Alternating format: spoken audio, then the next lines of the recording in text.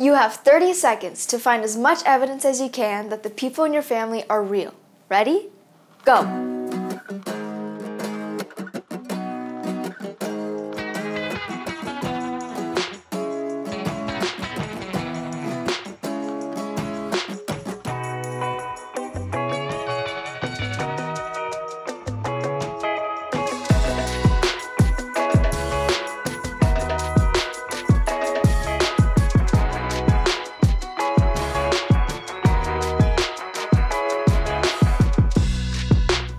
Pretty easy to prove someone standing right here is real. You can see them, you can touch them, and hear them. But today we're learning that God is real.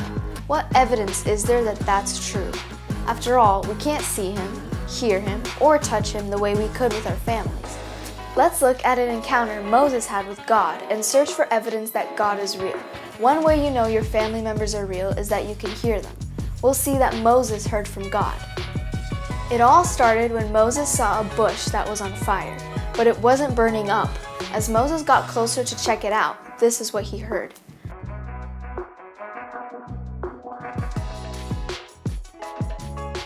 Not only did Moses hear God say his name, plus identify himself as God, but God went on to tell Moses a lot.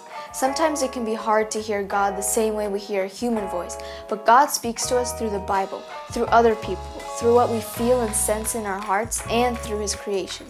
We know God is real because Moses heard Him, and we can listen for Him today too. Another sign your family is real is that you can touch the people in your family. We can't touch God, but God did ask Moses to partner with him to do the work of freeing people from slavery. God said this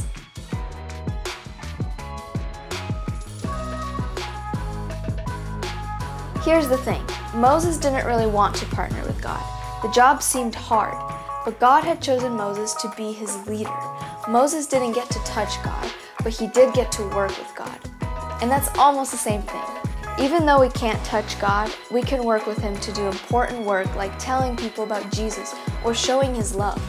When we do God's work, we often feel His power working through us. A third sign your partner is real is that you can see your partner. I'm looking around our room and I can't see God. But let's look for visual evidence of God in Moses' story. Moses didn't see God himself, at least not in this story, but he sure saw a lot of miraculous signs that proved God is real, like when he saw his staff turn into a snake, or when he saw God turn water into blood in Egypt. So, Moses got to the burning bush where he saw a sign that God is real. Then he heard God and had a whole conversation with him about how to set the Israelites free from slavery.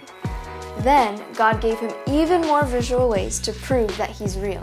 And after that whole experience, Moses went on to partner with God to do something amazing. All right, it's game time. Vote on what you think is real. Today, we're talking about how God is real. Let's see what we can discover by seeing what else is and isn't real and true.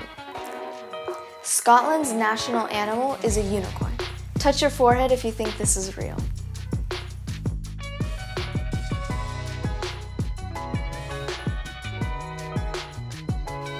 The Greenland shark has an average lifespan of 390 years. Some live as long as 512 years.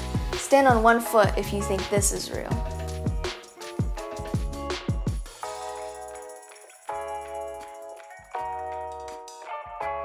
There are more trees on Earth than stars in our galaxy. Point to the ceiling if you think this is real. Real. NASA estimates there are between 100 and 400 billion stars in the Milky Way. The Earth has more than 3 trillion trees. Cheetahs can't roar. Instead, they make a sound similar to a house cat. Meow if you think this is true.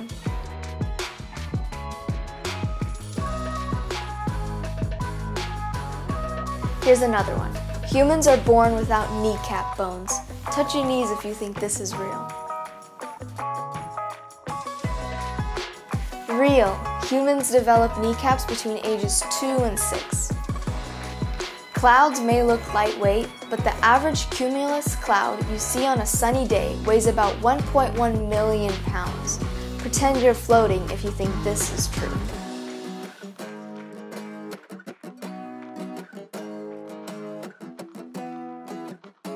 Because all tigers have the same stripes, it is impossible to tell them apart by sight. Cover your eyes if you think that's real. Made up. Tiger stripes are as unique as fingerprints. Your brain is almost 60% fat. Touch your skull if you think that's real.